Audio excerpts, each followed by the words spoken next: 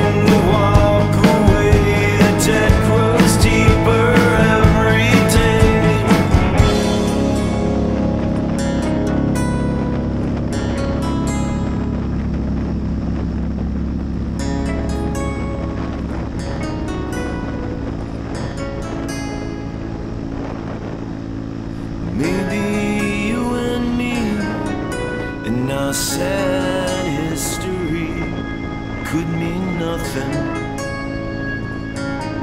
We could be something. We could be something